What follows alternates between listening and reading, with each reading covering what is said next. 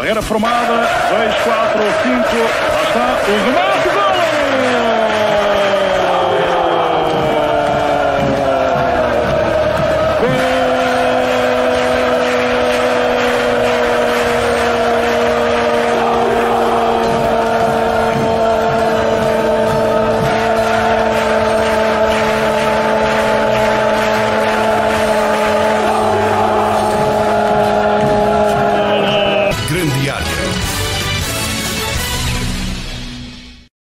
Mas vamos uh, à conversa, só números uh, exatos uh, do Roças no campeonato. 19 pontos conquistados em 22 jogos, fruto de 5 vitórias e 4 empates. A equipa teve 13 derrotas, marcou 32 golos e sofreu 51. Um número certamente preocupante, porque acaba por ficar com a defesa mais batida no uh, campeonato.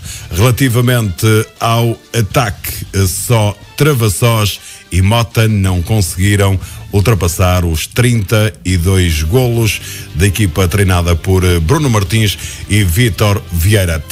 Antes de mais, eh, boa tarde a ambos. Obrigado, agradeço mesmo a vossa presença para analisar desportivamente a época, sendo que eh, no plano administrativo iremos ter uma segunda conversa, mas aí com o presidente da direção. Ora, meus amigos, eh, vamos a estes números que acabei de anunciar, começando já por aqui e olhando aquilo que era o vosso discurso uh, otimista no arranque do campeonato, o que é certo é que chegamos ao final e o Roças não conseguiu uh, melhorar também a sua classificação. Bruno Martins é o técnico principal, já sabe, o adjunto é Vítor Vieira, com quem vou conversar também daqui a pouco. Uh, Bruno, a primeira questão é esta. Uh, o que é que faltou uh, a este Rosas, na sua opinião, para atingir aquele que, aquele que era o objetivo principal, ou seja, melhorar a classificação em relação à última uh, temporada? Sabemos também, porque acompanhamos todas as semanas, não era fácil a determinada altura da época, uma vez que estava privado de muitos jogadores. Uns por lesões, outros por castigos e mesmo até no futebol amador é muito comum uh, a vida profissional de, de, cada um. São razões certamente estas mais que suficientes para justificar um pouco aquilo que não foi uh, uma classificação melhor uh, para, para o Roças. Olá, muito boa noite, António. Desde já queria agradecer o convite para estarmos aqui presentes falar da época de Roças e também dar-te os parabéns te, por também o teu, o teu programa e a grande área, eh, também abrir um bocado os horizontes do, do que é distrital. Eh, muitas vezes é, é um futebol que é desconhecido por muitos, mas eh, daí dou-te os parabéns por dares a conhecer a realidade dos clubes e daquilo em que nós trabalhamos e, e daquilo que os jogadores passam o seu dia a dia. Em relação à época, foi uma época que nem começou mal. O Roças, quando acabou a primeira volta, salvo erro, estava a dois pontos do primeiro classificado, que era o Mosteiro. E, a partir daí, como tu disseste bem, vários, vários fatores eh, surgiram depois da, da, na segunda volta. Eh, claro que houve castigos, claro que, que também houve, houve, ausências devido ao, ao, nível profissional de cada um. Eh, nestas equipas temos também não só ver o lado esportivo, mas também temos de tentar conciliar com o lado pessoal de, de, de cada jogador. Uhum. Uh, o Rostas é um clube que não paga, um, um, clube, um clube amador e por vezes uh, o trabalho, a família e impossibilitaram alguns jogadores de, de, estar presente nos treinos. E isso, claro, para nós, uh, tanto para mim como, como para o Vitor, era um bocado difícil às vezes termos uma equipa, um 11, um 11 base que jogasse muitas vezes, que fosse repetitivo Uh, e nós chegávamos ao fim de semana, nem, nem sabíamos com quem contar muitas das vezes, porque faltavam à quinta, faltavam à terça, e, e é bastante difícil. Em termos de qualidade de plantel, acho que não, aquilo que eu várias vezes disse durante, durante a época para a rádio, nós não temos um plantel fraco, acho que temos um, um plantel bastante bom. Tínhamos que, de certeza absoluta, que temos lugar para estar nos cinco lugares da, da, da divisão, mas uh, vários fatores que, que não, não, não conseguimos fazer isso. Claro que nós também somos um bocado culpados, porque também somos nós que orientamos E, e, nós não temos que culpar este ou aquilo porque foi o que aconteceu. Os principais culpados somos sempre nós, devido a vários motivos, mas somos sempre nós. A direção, nada a apontar, nada nos falhou, não temos nada que apontar ao clube, temos diretores que cumprem, temos diretores que aparecem aos treinos, temos uma boa casa. A nível de adeptos, eu digo isto várias vezes e dificilmente há um clube na regional, nas nossas divisões, que leve tantos adeptos fora como em casa, como a Roças. Não, não foi por causa disso. Mas ah, não sei o que é que se passou. Tivemos uma segunda volta que não, não conseguimos uma vitória, tivemos quatro empates. É importante dizer isso também, ainda bem que toca nesse ponto, porque à 11 jornada o Roças era sexto com 15 pontos, terminou a época uh, com 19, ou seja, apenas somou mais 4 pontos, fruto desses quatro empates que refere agora. É verdade, nós, nós na segunda volta, como, como, como estava a dizer, não conseguimos a vitória, mas muitas das vezes também ficamos com aquele sabor amargo que poderíamos ter, ter feito e poderíamos ter, ter conseguido, nem, não um jogo, mas se te disser dois, três, quatro jogos, podíamos ter ganho na segunda volta. Lá está, é o fruto de se calhar uh, algum facilitismo, o fruto de se calhar muito compromisso e, e, e, no futebol também é preciso ter sorte. E nós falhávamos os golos, nós uh, dominávamos o jogo e sofríamos um golo assim do nada. E isso é muito difícil neste futebol. E depois também umas equipas que quem conhece o futebol regional sabe que dificilmente há jogos onde se dá muita volta por cima, marca-se um gol, marca-se dois é muito difícil dar, dar, dar, a volta por cima. Mas uh, acho que foi uma época, tanto para mim como para o Vitor, ele a seguir vai falar, foi a primeira época que tivemos como treinadores principais de alguma equipa. Tivemos sim, mas foi no ano passado acabar a época. E foi um ano de aprendizagem. Claro que nós aprendemos, claro que nós também eh, não é só falar um bocado de futebol, mas também, também temos que perceber a, a, parte humana de cada jogador, também saber gerir grupos e isso. Claro que foi um ano de aprendizagem, não, não, não foi só a nível pontual do clube, mas também para nós enriqueceu-nos um bocado. E, mediante o, a classificação que não foi boa, claro que não foi boa, mas eu sinto-me que se calhar hoje estava melhor preparado, tanto para, para decisões como para, para, da maneira como a postura que, que, temos em campo. Acho que cada ano que passa, e acho que falo por mim como é o primeiro ano, ainda tenho muito que aprender se quiser eh, continuar neste, neste, neste meio, mas foi uma época que, que, uma segunda volta, porque a primeira volta foi muito boa. Eh, foi uma segunda volta que não, que não agradou a, a, ninguém, e, mas também os meus jogadores também deram tudo e também tenho que lhe agradecer por tudo aquilo que fizeram por nós. Nunca, nunca podemos de, falar disto ou daquilo de, de, certos jogadores, acho que todos cumpriram com aquilo que, que, podiam. Muitas das vezes esses castigos, essas falhas aos treinos é a vida pessoal de cada um. Sei que há trabalho, sei que há muita gente que trabalha até tarde e isto é um bocado de, difícil conseguir gerir e também agradeço por nos terem ajudado o primeiro ano de, de que treinamos e só tenho a agradecer também ao Roças por, por nos dar a oportunidade de, de treinar o clube. Muito bem, Vitor. Uh, é difícil, certamente, uh, gerir uh, mentalidades, naturalmente, neste primeiro contacto também como adjunto, se bem que a última época, aquelas últimas jornadas, já foram vocês a assumir esse mesmo cargo. Mas qual é, na tua opinião, a, a grande dificuldade que há? Uh, em clubes uh, como, como Roças e, uh, na tua opinião, qual a razão de apenas só a equipa ter conseguido quatro pontos na segunda volta? boa noite, António. como o Bruno já disse, muitas das vezes a nossa dificuldade era construir um 11. fosse por uma ou outra razão, se calhar na segunda volta nunca conseguimos repetir um 11 quando mudas 5 ou 6 jogadores, sabes que a maneira de, a forma de jogar de uma equipa muda completamente. Uh, e o nosso obstáculo maior foi esse. Uh, é claro que não podemos uh, estar aqui a dizer que, que, a culpa é deste ou daquele, não. A primeira culpa é, como o Bruno já disse, sempre foi nossa. E nós assumimos isso perante o nosso plantel.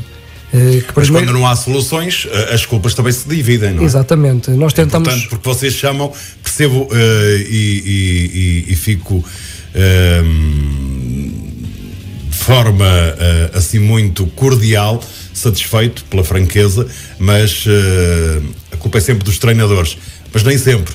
Também é importante perceber uh, as condicionantes de uma época desportiva e eu sei que Roças foram relatadas aqui na Alto ABFM, teve muitas. Sim, é, é muito difícil por vezes eh, tu olhar para um plantel e se calhar não tens um jogador que encaixasse numa posição e tens que lá meter outro que se calhar dá o melhor, eh, mas não é Rendia dele. mais noutra posição. Exatamente. Por vezes isso foi o nosso maior obstáculo. Eh, Agora é claro, é como o Bruno já disse, eh, nós se calhar neste momento estávamos melhor preparados que no início da época. Eh, Tentamos sempre dar o nosso melhor e transmitir aquilo que eram as nossas ideias. Se calhar nem sempre conseguimos transmitir a melhor ideia, mas é como ele disse, é andando e aprendendo. O trabalho, já agora, era feita só no terreno ou havia aquelas importantes conversas antes dos treinos, eh, depois dos jogos? eh, como é que era a vossa relação, o vosso tratamento, eh, olhando a cada jogo para com, para com o grupo de trabalho, para que as pessoas percebam eh, tudo aquilo que se faz? Porque fica só a ideia eh, que os, os jogadores e a equipa técnica vão para os campos e vamos lá treinar aqui esta, esta parte que achamos mais importante, mas há muita coisa que é trabalhada ao longo de uma época desportiva. Sim, havia um- sempre um planeamento eh, para, os treinos eh, da semana eh, que ia resultar nos treinos pós-jogo. Muitas das vezes nós chegávamos aos treinos com um treino planeado e não conseguíamos fazê-lo por, por falta de, de jogadores nos treinos. Que muitas das vezes eles diziam que não, não podiam aparecer mesmo em cima da hora e isso dificultava o nosso trabalho. Mas de resto, os que apareciam davam sempre o seu melhor Trabalhavam bem. Exatamente. Isso facilitava o nosso trabalho. Ó Bruno, hum, era certamente essa uma das eh, grandes dificuldades, mas eh, olhando também aquilo que é hum, o cunho que os treinadores eh, por vezes gostam de dar às equipas e percebo eh, pelo aquilo que já disseram eh, que não havia assim tanta matéria humana apesar de reconhecer o valor a todos eh, mas é importante em cada equipa ter os chamados polivalentes tinha o Roças ou não? Uh, sim, tem o Roças, claro que, como o Vitor disse, nós uh, tivemos muitos jogos, muitos polivalentes. Uh, nós tínhamos uma equipa que todos os treinadores têm, e não podemos estar a esconder que não, tem sempre aquela equipa base, mas nós, quando dávamos conta, chegávamos a domingo, ou mesmo na quinta-feira, uh, tínhamos que adaptar sempre um jogador aqui, um jogador ali, e há vários jogadores que fizeram várias posições. Uh, mediante isso, é natural que o jogador cumpriu, porque também nem podemos apontar nada, mas se nós tivéssemos, se calhar, a equipa, eh, a equipa toda, o plantel todo disponível durante a época toda, de certeza que as coisas também, claro, que ficavam mais facilitadas eh, o fim de semana. Mas é, é o que eu te digo, eh, Roças também fica um bocado fora de mão de, de, de, de muito de outros grandes de centros. outros grandes centros. É natural que eh, o Roças, como joga na FAF, FAF tem várias equipas, mas também tem vários jogadores, tem várias pessoas, tem, tem muito comércio, tem várias. A várias- população é- a população é, muito maior, é e, muito maior. e claro que naturalmente que tem mais escolha. facilidade de arranjar Há jogadores. E aqui nós eh, temos eh, na nossa, na nossa, no nosso conselho temos o Guilho Freio, o Vieira, o Roças e o Mosteiro. E acho que da parte de agora que estamos e tentamos tentar arranjar jogadores e, e nota-se que há falta de, de material e de matéria-prima para querer jogar a bola. Eh, Isto já no meu tempo de jogador e certamente no teu havia muito mais gente, havia muito mais onde escolher.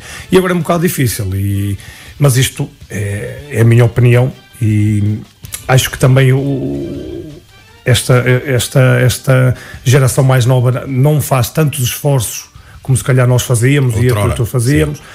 E, e claro que isso nota-se a, to- a todos, a todos os níveis de, e estes clubes que, que passam mais por, por caridade dos jogadores e boa vontade e compromisso dos jogadores e tem sempre aquela tendência a, a baixar e espero eu que isto mude e que estas gerações que aí vêm que ajudem os clubes da terra, tanto o Mosteiro como o Guilho Freio como o Roças e que, que possam eh, ter aquele prazer de jogar futebol e, e claro, e dar outra vida E hoje é sempre mais difícil, porque estamos Claro. a falar de um clube que não dá eh, prémios, eh, Claro, e- para não dizer outra coisa, mas e- vamos aos prémios, eh, não dá prémios a ninguém porque não há essa possibilidade, não é? E aí torna-se mais difícil aquilo que E é há isso, pouco frisava. e é isso que eu digo. mesmo na nossa divisão já há clubes a pagar. E mesmo assim, eles- esses clubes que pagam têm dificuldade. Imagina nós, uh, o Roças que fica distanciado de, de, de, de muita coisa, mesmo a pagar, se calhar até pode ter dificuldades em, em, em levar jogadores.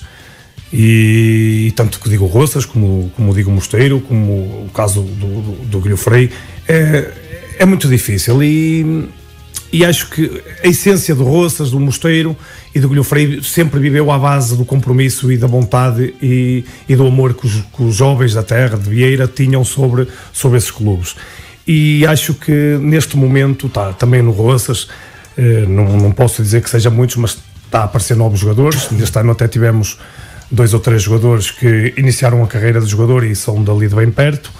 E, e também deixo aqui um apelo quem quer jogar futebol e quem tem bicho de futebol que, que apareçam tanto para o Mosteiro como ao Guilho Freire como ao Roças que precisam, precisam de, de, de, de, gente porque os clubes também fazem tudo, os diretores fazem tudo e acho que faz falta, faz falta criar mais mais jovens e que queiram, que queiram desfrutar do, do prazer de jogar futebol ao fim de semana. Há alguma razão para que isso não aconteça, na sua opinião? Ora bem, a, a razão, a razão é difícil de, de, de, achar que a tenho, porque várias pessoas podem ter vários pontos de vista. Uhum. Eu acho que a geração não é tão de rua como nós éramos. E nós jogávamos futebol de rua, nós jogávamos futebol em qualquer lado, nós jogávamos futebol, se calhar fazíamos quilómetros para ir jogar futebol, nós tínhamos gosto e tínhamos grupo, grupos que e, e onde eu joguei também era muito à base de amigos, os amigos vão para ali, nós vamos também, por isso também a minha ida para o Roças também foi, uhum. foi por causa, por, por é, causa esse, disso. Esse ponto ainda hoje é assim um pouco. É, e o Mosteiro tem um bocado disso. O uhum. Mosteiro neste momento tem um, um grande grupo, se calhar, de amigos que se estão a tornar e só que lá está, é um, não chega para tantos clubes. E, e acho que há muita gente aí a aparecer, muitas, o Vieira também tem dado uma formação que, que poderá vir a dar frutos e, e, que queiram, que queiram jogar futebol e que apoiam o, os clubes da terra que tudo fazem para para que, para que mesmo a, para dar a condições, e dar condições para, dar para, condições. para isso. Uh, Vitor, 51 golos uh, sofridos neste campeonato em 22 jogos. Como é que justifica? Não é fácil justificar. Uh, muitas das vezes, como já o Bruno disse, nós estávamos por cima no jogo e do nada, numa desatenção, sofremos um golo. e foi por aí também. realmente, defensivamente, tivemos muitas distrações. jogos que muitas vezes tínhamos jogos controlados e, e acabávamos por por nos deixar sofrer e, e daí se calhar esses 51 golos. Faltou a pontinha de sorte também em muitos desses jogos? Em muitos mesmo. Em muitos. Olhando para hum, este, esta Série E da, da, da primeira divisão hum, distrital, hum, os adversários. Ora, pela tabela, naturalmente temos que reconhecer que foram melhores mas uh, não havia aqui o equilíbrio entre muitas equipas em termos de igualdade daquilo que era o seu valor uh, coletivo, isto comparando os Roças com todas as outras? Sim, uh, poderia haver duas ou três equipas que, que, que eram bastante superiores, como o Mosteiro Arco-Baúlho. Mosteiro e Arco-Baúlho, muito superiores. De resto, o resto das equipas, para mim, eram todas equivalentes. tirando, se calhar, o Mota, que também tinha muitas dificuldades defensivas. E ficou em primeiro e. Uh, Como nós. Uh, marcou apenas 17 golos, sofreu 46, mas também só marcou 17. De resto, as equipas eram, bastante desequilibradas. Uhum. Ali na casa dos 30 há várias equipas uh, em termos daquilo que era a, fi, a finalização, portanto, mostra uh, também essa, esse equilíbrio. agora. Vocês são uma equipa jovem de técnicos. Alguma vez vos passou pela cabeça voltar a calçar as chuteiras para representar o clube como jogador? Porque o Roças teve dificuldades. E vocês são dois jogadores com, já credenciados e que, e que já mostraram também a, a, qualidade durante muito tempo. Durante a época apetecia, muitas das vezes, ir para dentro de campo. Infelizmente, ambos por por, uh, por lesões uh, já antigas, não, não pudemos dar o contributo dentro de campo. Uh, mas com os jogos que apeteceu, apeteceu. Bruno, e agora? estamos no chamado descanso da época. como é que está a ser planeado, se é que já está a ser planeado também, o grupo, a próxima temporada, se é que há convite para a renovação do vosso vínculo ao, ao clube? nós ainda não fomos ainda não fomos comunicados sobre o interesse do, do, do, da direção para, para nós ficarmos. Mas vão manter-se os dois? A ficar mantém-se uh, Sim, os a, dois? Fi, a ficar é, é, sempre os dois. Imagino que há outro convite, uh, são os dois uh, sempre a transportar bem, não podemos, para um lado não, para o não, outro? Pode, não podemos dizer sempre, porque isto é... Mas gostava de continuar? Gostava, claro. É, é aquilo que eu digo e quando as pessoas falam sobre tu és o treinador, tu és a junto. Isso entre nós nunca foi, nunca foi, nunca foi o o, o, nome da, da, da, palavra. Nós éramos os dois treinadores. Uhum. Os dois tínhamos a opinião, os dois dávamos a opinião, tanto na equipa, como na convocatória, como no treino, como na parte da, da, da gestão de equipa. Mesmo nas substituições, eu não, raramente fazia uma substituição sem, sem a opinião ou sem o conhecimento. Uhum. Ele, por vezes, também fazia isso durante, olha, vamos fazer isto, e nós chegávamos sempre ali a uma conclusão acho que, que, que, me entendi bem com ele. Ele, ele, ele ficava sempre mais, mais sobre a parte, parte física do, do grupo. Uhum. E acho que sempre, no, sempre tivemos um bom entendimento e claro que se houvesse alguma proposta sobre um clube ou sobre este ou sobre aquilo, claro que eu gostava que, que fosse ele e penso que ele, penso que ele também. Uhum. Uh, mas em nível de, de, proposta de renovação ainda não, ainda não, foi, ainda não foi feito por, por, para nenhum dos dois. E pronto, e o futuro lá dirá, tanto seja, seja no Roças, como pode aparecer outro clube qualquer. Foi uma experiência que, como já disse anteriormente, que gostei, que, que hum, acho que me fez crescer, uh, tanto a nível eh, pessoal, como, como se calhar. Uh, eu não digo. Eu Ao nível do conhecimento. A nível do conhecimento de jogo, uhum. acho que nós, quem está dentro tem uma coisa, mas depois quando passas cá para fora. Ficou com, essa, ficou com, a, com, com as chamadas fica, diferenças fica, enquanto era jogador e agora treinador, não é? A, a, é, é, é, muito diferente. A maneira, a maneira como tu abordas o jogo quando jogas. Não é a maneira como nós abordamos o jogo de fora. Muitas das vezes, e eu também jogamos, e tu também jogaste, eh, temos uma certa opinião sobre uma coisa que está a acontecer, mas tu estás focado sobre a bola e muitas das vezes nós estávamos a ver o jogo por inteiro. Focado numa equipe. E, e há coisas que se calhar nós fazemos que até, claro, os jogadores podem achar que não é o correto, mas é uma leitura diferente.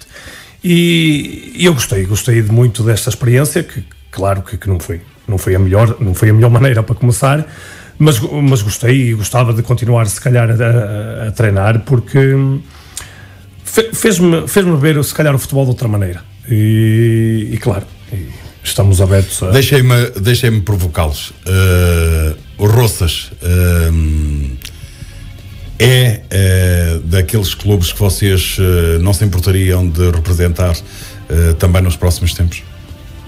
Isso, claro que isso que é, que é, nós temos que, que, que, responder, claro que não, porque foi o clube que nos abriu as portas. E, mas depende de muitos de, daquilo que nós, o conhecimento que nós temos de Roças do momento também para fazer uma, esse convite também tem, temos também fazer um estudo antes e também fazer aqui, dizer aquilo que, há, que achamos seja, que não planear melhor. Planear melhor. Uhum. E há coisas também, claro que nós não gostamos, como há, há coisas que se calhar outras partes não gostaram. E claro, claro que sim, o Roças foi aqueles que nos abriu a portas para, para treinarmos e claro que nós ouviremos a proposta se ela acontecer de, de, de braços abertos, mas temos que esperar e ver. Muito bem. É importante, eu vou ter uma outra conversa ainda esta temporada, mas a outro nível, eh, a nível da direção do, do, do clube, das infraestruturas. Mas também aproveitando aquilo que foi o vosso passado, porque vocês jogaram uh, vários anos uh, em pelado, se bem que o Bruno uh, no Vira Sport Clube já jogou em relevado, o Vitor teve também alguns relevados, mas a maioria das épocas desportivas enquanto jogador foi pelado. E chegar a Roças, ver aquela relva o clube melhorou as infraestruturas, ou seja, oferece hoje melhores condições. Claro que sim. Uh, neste momento, o Roças cresceu 200%. Uh, eh, neste momento, também deve ser conhecimento, estão a ser feitos uns balneários, balneários. uns balneários novos, com, com, sede. com uma sede. Uhum. E claro que é um clube em crescimento e também é preciso crescer não só as infraestruturas, mas também dar aquele passo à frente para manter sempre uma equipa estável e, como já referi anteriormente, os adeptos de Roças, que são muitos, que apoiam muito a equipa, também merecem ver um Roças mais ganhador. E, e, e claro que, que, é uma diferença muito, muito grande que muitos jogadores que lá estavam foram como eu e como outros tiveram muitos anos também de pelado. E claro que há aquela dificuldade, mas, mas torna-se um jogo mais bonito, um jogo mais. Mais, mais atrativo. Mais atrativo. Uhum. Uh, acho que, sinceramente, eu, eu falo por mim, adoro ver um jogo de pelado vejo mesmo aquilo, o canal 11, adoro ver aquilo, porque é aquilo que me faz lembrar aquilo que foi a minha infância. Exatamente. Mas em termos de, de, de qualidade de jogo, de jogo em é si, é mesmo a, a, a, nível técnico que nós preparamos um treino, é tudo mais, mais um nível mais acima e que. É um Roças mais apetecível, Vitor. Muito então, mais apetecível. É? Em relação às infraestruturas, acho que o Roças cresceu muito nos últimos anos e, e vai continuar a crescer. E, e isso, espero eu, que seja o chamariz uh, de novos jogadores uh, para aquele clube que tanto merece. Responde quem quer, é uma direção também muito forte uh, em termos daquilo que é a União e aquilo que é a sua paixão pelo clube. Nós temos a sorte de ter um presidente que. Sr. Jorge Magalhães. Exatamente. Que, uhum. que adora o clube e só não faz mais porque, porque não pode.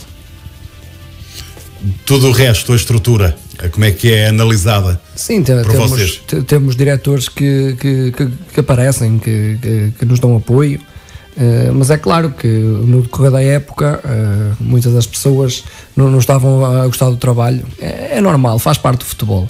Uh, se calhar se tivesse tudo a correr bem, mais gente iria. Mas em relação aos adeptos, não nos podemos queixar. É um clube bairrista. Também a mesma pergunta uh, gostava de continuar? Sim, se, surgir essa oportunidade, claro que soubesse, soubesse esse convite, uh, íamos analisar e possivelmente tínhamos que pôr os pontos nos is. Muito bem. Meus amigos, ehm, vamos uh, ficar por aqui porque o ideal uh, seria termos aqui o presidente da direção também, mas pelos seus afazeres profissionais não pode, por isso a conversa com Jorge Magalhães vai ser numa outra data ainda uh, combinar. Espero que o vosso caminho possa continuar.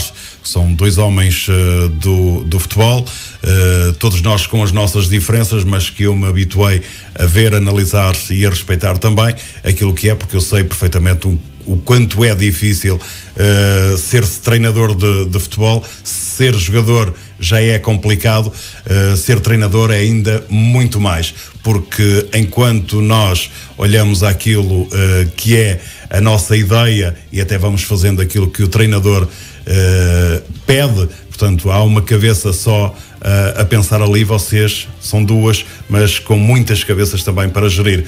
E essa parte, Bruno Martins, para fecharmos a nossa conversa, não é de todo fácil. Claro que não. É, eu acho que, acho que, na minha opinião, foi mesmo mais difícil.